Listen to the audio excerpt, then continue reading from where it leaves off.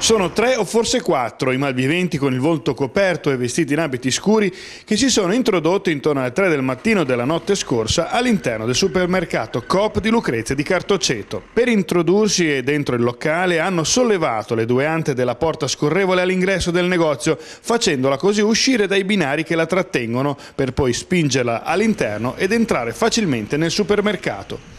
L'incursione è stata rapida, poco più di qualche minuto, e precisa. Il loro obiettivo erano i cassetti portadenaro delle casse, custoditi in un armadio pesante con all'interno il fondo cassa.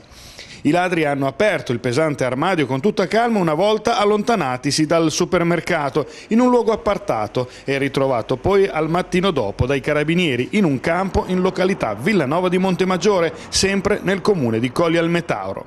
Dai primi rilievi non è stato portato via altro dal supermercato ed il bottino ammonterebbe a poco più di 3.000 euro. Ora i carabinieri della stazione di Colli al Metauro, coordinati dal comandante Antonello Pannaccio, stanno visionando le immagini delle telecamere per trovare riscontri utili alle indagini, come l'automezzo usato dai malviventi per allontanarsi dal luogo del furto.